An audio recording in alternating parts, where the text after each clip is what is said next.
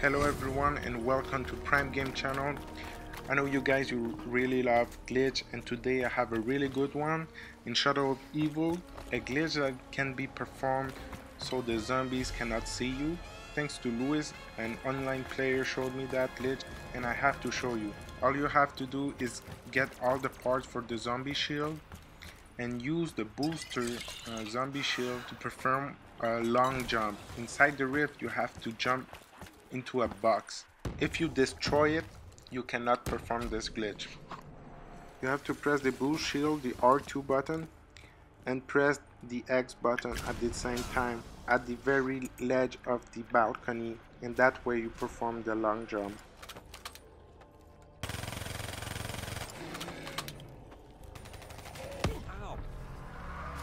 And that's it. At the top of the box there is an invisible ledge and you can be up to three player.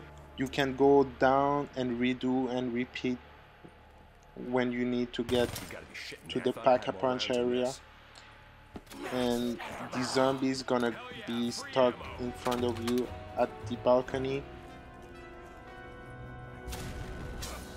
Once again uh, the special thanks to Louis Cag that showed me that glitch and the other guys in this video Muffin Top 100 and Paradox Kiato for helping me out for this video. Thanks for watching. Please like this video and subscribe for more Call of Duty glitch.